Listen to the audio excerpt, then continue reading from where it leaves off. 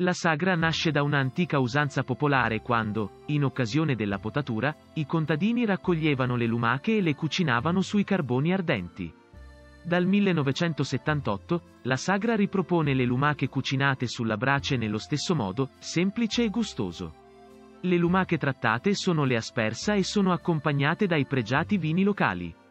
La sagra della lumaca di Cantalupo di Bevagna è diventata una manifestazione culinaria molto conosciuta e apprezzata, che vede coinvolti tutti gli abitanti insieme alla Proloco Cantalupo Castelbuono, organizzatrice dell'evento.